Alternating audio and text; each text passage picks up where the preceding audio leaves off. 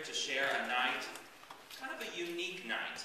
Uh, this is the first time that we've done a night like this, and this is to prepare um, the two middle school groups and my concert band as we prepare uh, for festival. My group performs next week, and then the middle schools are the week after. And we're sort of going to structure the night like this. We have Blue Valley Middle here on stage with Mr. Strain. They're going to play through their two contest tunes. And in the back, in the light booth, we have someone very, very special. His name is Jim Oliver. He's the retired director of bands at Lee's Summit High School.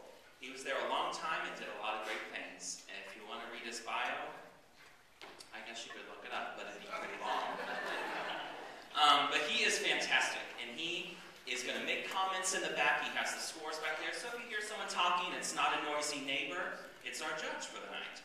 And after Mr. Strain takes the Blue Valley Band through their two tunes, uh, Mr. Oliver's going to come up on stage. He'll have a mic, and he's going to work with the band for 15 minutes so that you hear what we do as music teachers in the classroom, how these kids and students um, and bright minds prepare for contest, and sort of an adjudicator's perspective on that process. So it's a very special night, and um, we're going to be treated to some great performances. So we're going to start with the Blue Valley Fair and They'll play through their two pieces, and let's make it.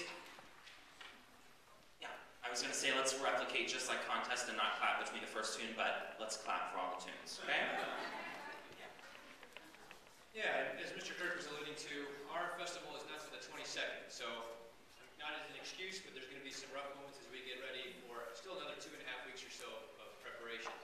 And on that, I wanted to say that some of these um, pieces have kind of some special effects to them. So kind of for Mr. Oliver, we don't have uh, some sirens at the end of, uh, Spy Chase, we don't have some swirling effects